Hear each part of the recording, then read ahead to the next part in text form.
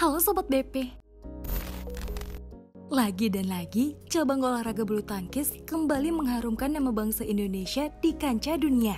Siapa lagi kalau bukan Fajarian, juara Indonesia Master 2022. Petepok bulu ini memang beberapa kali memberi kejutan yang membuat ia semakin dikenal oleh badminton lovers. Nah, spesial di segmen kali ini, kita akan mengungkit fakta-fakta dari Fajarian.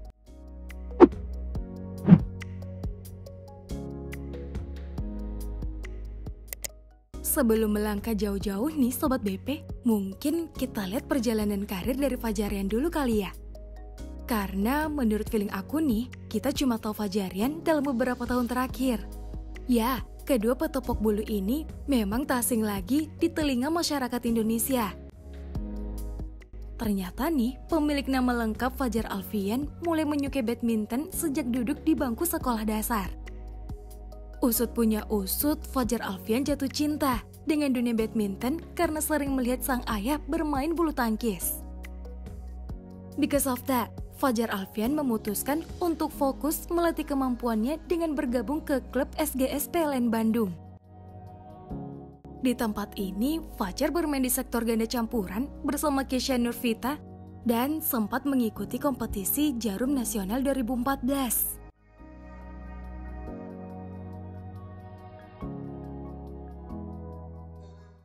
Tapi siapa yang menduga, partnernya Muhammad Rian Ardianto juga mengenal bulu tangkis saat masih SD tepatnya di usia 7 tahun. Pria kelahiran 1996 ini beranjak dari keluarga sederhana. Dan diketahui, ayah Rian telah lebih dulu meninggal dunia sejak Rian masih kecil.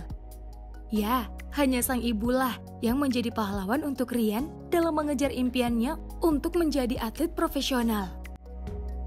PB Jaya Raya menjadi wadah bagi Rian Ardianto untuk menimba ilmu dan mengasah skill serta kemampuannya dalam bermain tepok bulu. Disandingkan dengan Clinton Hendrick di ganda putra, Rian mulai memperlihatkan bakatnya itu melalui turnamen Jarum Sirkuit Nasional 2013.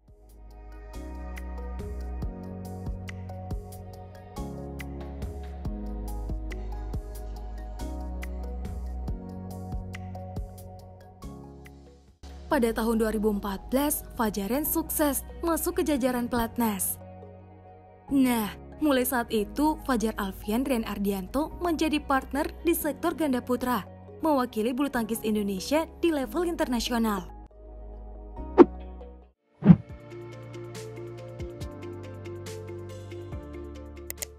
So, meski Fajarian baru berpasangan selama 8 tahun di dunia badminton, tapi petepok bulu ini telah beberapa kali mengukir prestasi. Di kejuaraan BWF World Tour, Fajarian sukses menyabet 9 gelar medali.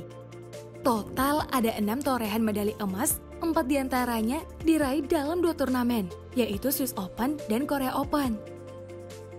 Masing-masing trofi itu didapat oleh Fajarian pada tahun 2019 dan 2022. Lalu trofi selanjutnya berada di turnamen Sid Modi India International 2018. Dan terakhir, gelar juara Fajarian masih hangat-hangatnya jadi pembicaraan awak media. Pas keluar sebagai juara di Indonesia Masters 2022 kemarin. Wah wah wah, salut ya dengan pasangan satu ini.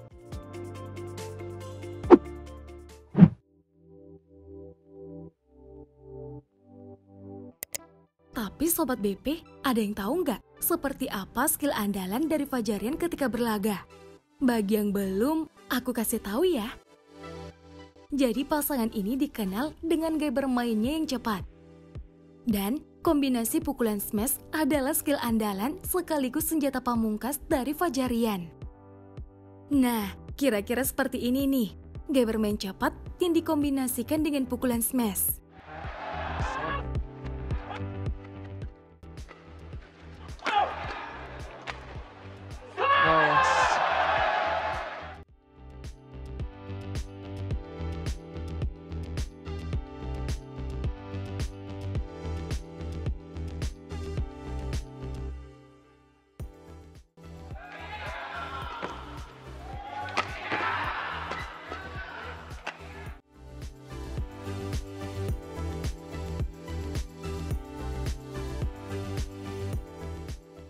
Sebagai pemain depan, Fajar Alfian memang cukup tangguh dengan serangan cepatnya.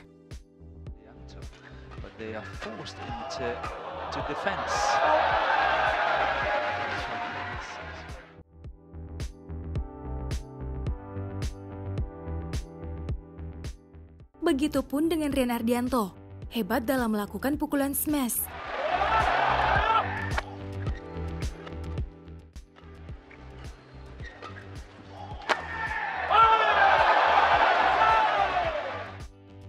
Intinya, Fajarian saling melengkapi lah Sobat BP.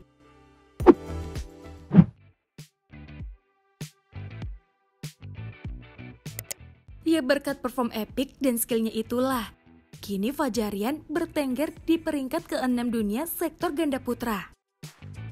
Tapi, apakah kedua topok bolu ini juga memiliki skill dalam dunia percintaan? Itu sudah pasti Sobat BP. Bahkan, Fajar Alfian kini ramai diberitakan di sosial media karena tengah menjalin kedekatan dengan artis cantik tanah air. Siapa lagi kalau bukan Susan Sameh?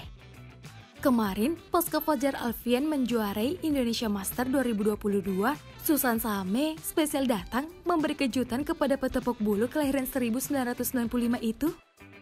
Actually, Fajar Alfian dan Susan Same bukan pertama kali terlihat mesra karena sebelum-sebelumnya, dua orang ini kerap membagikan potret kedekatannya di sosial media. Mulai dari ngedet bareng, sampai berfoto di pantai Bali. Meski begitu, Fajar Alfian dan Susan Sameh belum mengumumkan kalau ia sudah resmi jadian. Tapi dengan melihat tayangan tadi, ada kemungkinan mereka berdua udah pacaran. Tapi bukan cuma Fajar Alfian saja nih yang berbakat memikat hati wanita cantik. Karena jauh sebelum itu, Muhammad Rian Ardianto sudah terlebih dahulu dikabarkan berpacaran dengan Ripka Sugiarto, atlet ganda putri Indonesia. Soal kedekatan dua atlet petepuk bulu ini jangan ditanyakan deh. Kenapa? Karena Rian dan Ripka kerap membuat netizen baper. Seperti cuman mesra Ripka ke Rian berikut ini. Wah, kalau yang ini, Andin juga baper sih Sobat BP. Dan gaya ini Gaya berpacaran ala Rian dan Ripka. Sederhana, tapi tampaknya mereka sangat nyaman dan menikmati suasana terbuka. Namun belakangan, kemesraan Rian Ardianto dan Ripka Sugiarto sudah tidak terlihat lagi di sosial media. Ada yang mengira bahwa dua sejoli ini sudah putus. Ya, itu belum pasti, karena sampai sekarang belum ada kepastian dari Rian dan Ripka. Bisa jadi kedua atlet ini cuma disibukkan dengan gelaran turnamen BWF saja. Menurut Sobat BP bagaimana?